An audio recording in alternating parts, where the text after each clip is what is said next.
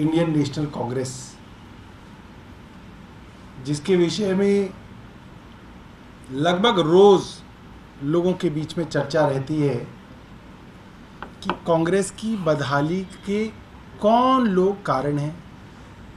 कांग्रेस क्यों उभर नहीं पा रही? इसके पीछे कौन लोग हैं?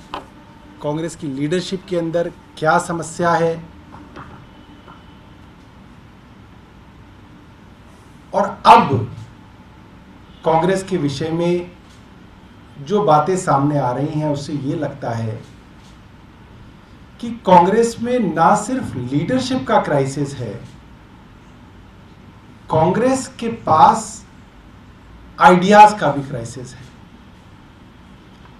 कांग्रेस का लोगों से जुड़ाव इस हद तक खत्म हो गया है कि उनके पास कोई अपना मैकेनिज्म भी नहीं बचा कि वो ये जान पाए कि लोग क्या चाहते हैं। जनता क्या चाहती है।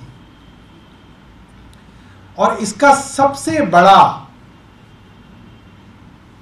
जो कह सकते हैं, सबूत पब्लिक डोमेन में जो आता है वो ये है, देश की सबसे पुरानी पार्टी, देश की सबसे नई उभरती हुई ग्रो करती हुई पार्टी से। नमस्कार, मैं हूँ मानक गुप्ता। अगर आपको हमारा ये वीडियो पसंद आया हो तो इसे लाइक और शेयर ज़रूर करें।